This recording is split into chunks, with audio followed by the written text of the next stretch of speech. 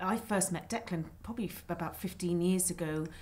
Initially, I met him through Greg Swift, who um, is currently the CEO of Dublin City Enterprise Board. He was the Plato manager back then, and um, he got um, Declan to run a number of um, training courses for him. That's how I found about found out about Declan, and uh, obviously I saw how good he was. So then I used him myself as a Plato manager myself. I, I got him in for some training courses as well.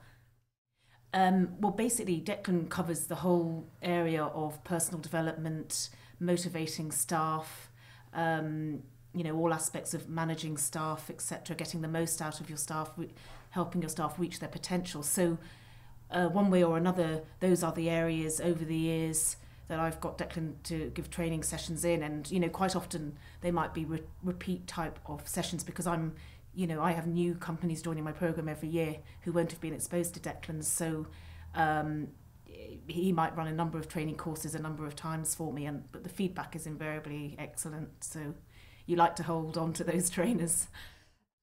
So much in life is is changeable and at up to you. If it's to be, it's up to me, as Declan would say. And I think it really gives people um, just gives them more power because you might not be able to change what's around you, but you can change how you react to it, and that's half the battle.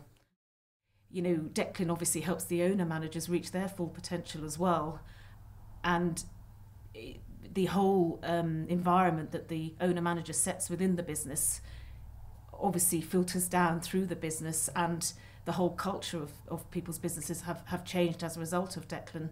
And, you know, there, there's a whole positive environment now in some small businesses that possibly before may have had a more negative environment.